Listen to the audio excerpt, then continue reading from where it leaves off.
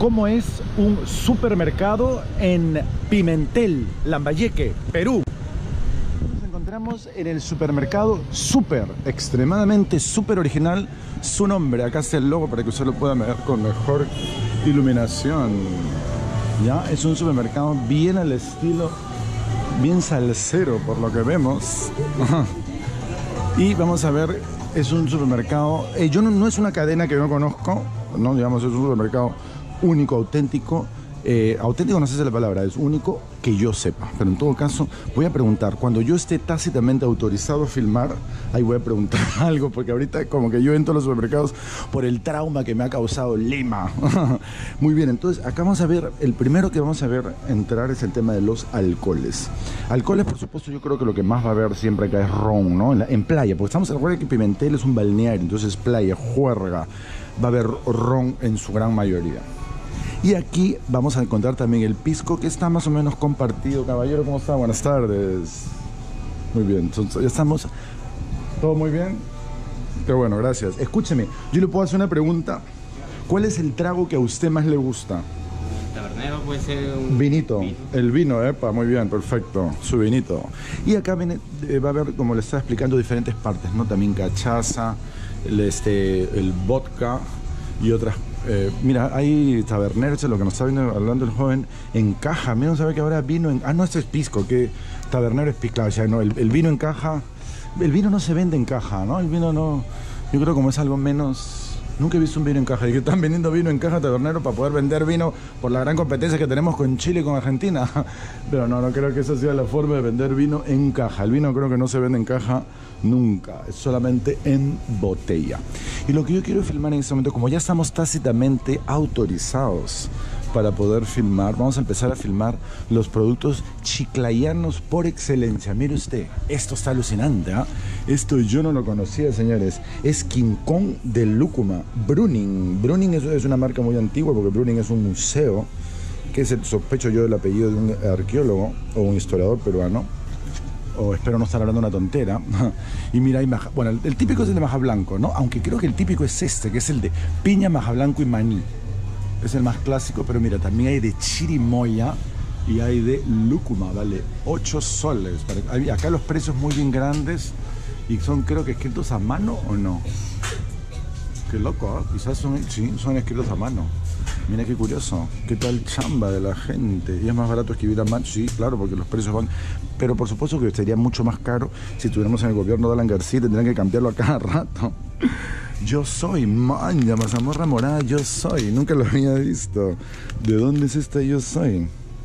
Obviamente peruana, pero ¿de qué parte del Perú? Y en inglés todavía dice, mira, de Lima. Ah, de Univer- la Universal ha sacado una marca. Yo soy, esta, esta es la más una de las más famosas aquí en Perú. Pero ahí dice la Universal, qué loco. ¿Y para qué han hecho una marca así? Yo soy. Productos Estragel y Universal. Maña, qué extraña, extraña combinación. Extraña mez- mezcla. Bueno, acá está todo el tema de las galletas toda una serie de productos. Por supuesto, siempre usted va a encontrar en el Perú, siempre va a encontrar productos principalmente del Perú y el segundo país eh, que, digamos, eh, no- nos provee, por así decirlo, es eh, Chile. Pero son productos ya hechos en el Perú, ¿ya? Son productos chilenos. Es como que ahorita vaya la Inca Cola a otro país, es Inca Cola, la hacen ahí, pero es peruana, pues. Costa es chileno, pues, ¿no? O sea, porque hay varias personas que me han dicho, no, la Inca Cola ahora se hace en Chile. ¿Y qué tiene? O sea, por eso va a ser chilena. No, pues compadre. No, pues compadre. y ahora vamos a entrar a la parte de. Acá la gente me sonríe. ¿Cómo se nota que no estoy en Lima? a la parte de todas las frutas. Mira, hay un poquito muy bien instaladito el supermercado. Está bien chévere. Recuerde usted que estamos en un balneario, que es algo que tiene mucho más movimiento en verano. Hay gente que vive todo el año, pero la minoría, la mayor cantidad de gente que vive en Pimentel viene, digamos, por temporadas. No, no la mayor cantidad de gente. El grueso se llena esto cuando es por temporadas. Cuando es todo el año es mucho menos gente. Aunque, aunque hay que ac- aclarar y, decir de que Pimentel está solo 15, 20 minutos, 13 kilómetros creo que de Chiclayo. O sea, debe haber mucha gente que vive acá y va a Chiclayo a trabajar, ¿no? Yo no lo dudo. Y todos los productos que vamos a encontrar acá, por supuesto, son, mira qué bacán, acá estas son alubias, que no sé cómo se llaman, eso no lo vemos mucho por otras partes. Y acá hay todo el chifa, por supuesto, comida china, porque comida china es parte de nuestra comida. Algún día eh, eh, viajaré o estaré caminando por un supermercado en Asia y veremos así comida peruana como lo vemos ellos de nosotros. Yo creo que no. Habría que emigrar a China masivamente como lo hicieron ellos porque eso tiene que ver tiene que ver mucho eso por supuesto no nosotros este adelante caballero por favor está en su casa y acá hay toda una serie de productos enlatados que estos sí son aquí en el Perú es, eh, todo es netamente nacional, porque de Ecuador, que es el primer productor de estos productos en el mundo, parece que acá también se produce, entonces no se está comprando mucho de esa parte. Acá hay una marca extrañísima, auténticamente peruana, Faraón. ¿no? Esas cosas son las cosas extrañas. Timbar Masbati, esto por supuesto viene de la India. ¿No? El Masbati es una cosa hindú. Esto viene de la India en general. Productos extranjeros también, mira. Ahora, eso ahí, yo no sé, porque el peruano no es mucho de comer comida hindú, ¿no? Pero bueno, parece que tiene un buen arroz. Y ahí está, el gran chalán. El chalán es ese, ese es uno de los trajes típicos del Perú. El chalán que es el de la costa peruana que tiene su poncho. Y otros, mira, ponen a la selección nacional. Ahora, ahora como están ganando, los ponen, porque antes nada. Ahí está la selección nacional del Perú en los fideos, ¿no? Como no, pues, para ser deportista tienes que tener eh, fuerzas y energías, una cosa así con esa idea, ¿no? Que me parece que es, es mucho más productivo que poner acá al Mickey Mouse o poner aquí al Batman, ¿no? Me parece que esto es un poquito más en todo el sentido de la palabra, ¿no? Porque el deporte es algo positivo, el fútbol con sus pros y sus contras es algo positivo para la sociedad, ¿no? No, no, no vamos a, decir que no lo es, pese a que a mí personalmente, como usted bien sabe, no soy atractivo del fútbol, pero como sí soy fanático del Perú, pues todas esas cosas las aplaudo y que sigan ganando.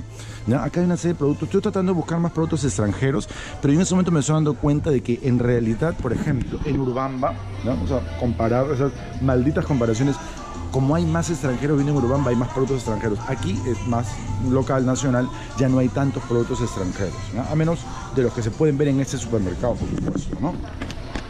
Y ahora vamos a enfocar este tema que es muy común en muchos supermercados del mundo, lo cual me parece muy chévere, que es cuando tú no quieres comprar los productos anteriores que están pesados, que están, digamos, en un kilo, con una bolsa, que hay un gasto en la bolsa, hay todo un tema, viene ese tema que ahora es más ecológico, ¿no? Y creo que es más económico también. Entonces tú compras solamente lo que necesitas.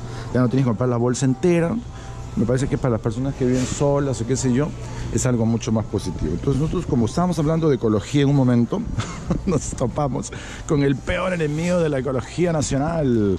En el Perú les encanta la riquísima comida este, peruana, viene en estas antipáticas envases que creo que es uno de los peores, lo que menos tiempo se desintegra, es más contaminante que el plástico, es el tecnopor, le decimos nosotros.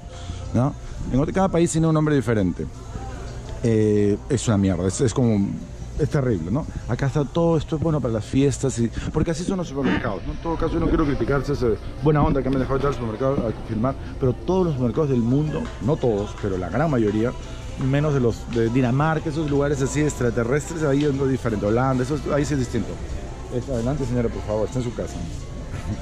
Este, te cobran la bolsa porque dice que ellos quieren cuidar la ecología eh, y la conservación del planeta, pero casi todos los productos que venden son eh, plásticos. Yo no voy a hablar por ese supermercado porque no es una cadena, pero yo creo que en los supermercados, por ejemplo, Plaza Bea, Vivanda, Wong no venden este, este Tecnopora. Creo que esto ellos no venden. porque eso, esto sí es fuerte, esto es, es un tema bien, bien, bien jodido, ¿no? Yo creo que ellos no. En todo caso, usted que va más seguido a los supermercados peruanos o los supermercados de su país, su supermercado está vendiendo ese material, si es así, debería dejar de venderlo. Es más, deberíamos dejar de usarlo. A encontrar en otro supermercado peruano, en otro mini market peruano, un display de corona, pero en este caso es aún más grande, acompañado de una musiquita tropical costera latinoamericana total. ¿ya? Mire qué chévere, la corona está metiendo fuerte. La Corona es una cerveza eh, que yo, a mí, me, no sé si me gusta mucho la palabra, pero como yo amo mucho México y he vivido, eh, no en México, pero cerca a mexicanos mucho tiempo, siempre yo he tomado Corona o Sol. Me parece que es una cerveza muy chévere. Ahora, competir en el Perú con cervezas nacionales es todo un reto, señores. Es todo un reto porque acá la gente es bien chelera, cervecera. Yo no sé si va a ser más barato para ustedes traer la cerveza desde allá para acá. Yo creo que acá la cerveza mexicana la están tomando más como una, cosa así como fresona, ¿no? Como, ay, mira, yo tomo corona, le meto su limón. Más que por allá de querer simplemente tomar chela, ¿no? me, da la sensación. Sobre todo por esos displays tan elegantes que estoy mirando yo, tan bonitos. Acá vemos una serie de productos Em, embutidos, mira acá embutidos, pero que yo no conozco algunos de esos. Por ejemplo, yo no sé lo que es. ¿Es un hígado? Loco, qué, raro. Nunca no había visto, no sé, no, este es relleno. Relleno, relleno, claro, es como una especie de, ¿cómo se llama esto? De hot dog grande, pero relleno de otras cosas. No hot dog, pues nada que ver. Un embutido, es un embutido. Acá hay una serie de productos eh, cárnicos, que yo no los veo tan frescos, pero no importa. Y aquí está todo el tema de porque en estos supermercados, por supuesto, venden toda una serie de productos. Aprovechan el salto y venden toda una serie de productos, ¿no? Este, para la casa y qué sé yo, ya bastante, muy bien surtido. Ahí están los famosísimos chifles, orgullo de todo el norte del Perú los, los chifles codeándose con las, este, los vasos. Jamás imaginaron esos chifles que iban a estar compartiendo espacio con vajilla en un supermercado. Qué loco. Y ahí estamos en el tema de las chelas y vuelve a estar Corona. Mira, Corona está bien presente, ¿ah? En todo el Perú esa Corona. Mira, acá hay otro display bien bacán y están haciendo así como, maña, el ritual de Lime Ritual. Lo han puesto en inglés, no te digo que es corta el limón por la mitad, corta la mitad del limón en cuatro partes iguales y retira el... Ahí está, esa es la novelería, pues. Y lo pone en inglés, ¿ah? mira tú. Señores mexicanos, o señor, ¿esto quién, quién ha puesto en inglés? ¿Por qué lo hacen así? Ustedes son ídolos nuestros por su hispanidad, no por su gringada. Contar lo que no nos gusta que estén tan cerca de Estados Unidos. si no, sería mucho mejor. ¿No? Pero bueno, eh, México pues es el ejemplo de haber sido, de unirse, ¿no? Lo que Sudamérica no hizo. y Centroamérica tampoco. Ellos sí se unieron muchas culturas, muchos idiomas, muchas personas en un solo país. Bueno, y está por supuesto como corresponde el lugar de mascotas. Todos los supermercados tienen que tener sus mascotas. Y acá un tema de juguetes, poquitos juguetes también para niños. Entonces ahora nosotros vamos a salir. Mira, para ser domingo hay bastante gente en el supermercado. ¿no? Y muy bien, entonces nosotros, como le decimos en todos los supermercados, como le decimos en todos los supermercados, no, como les digo, como les digo en todos los videos, nos vemos en un siguiente video. Adiós.